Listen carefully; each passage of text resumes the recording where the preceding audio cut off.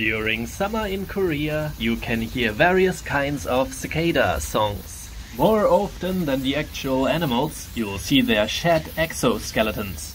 Aha! It's really disgusting. There's one.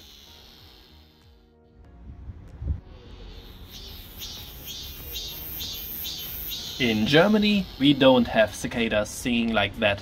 Therefore, to me it is The sound of Asia.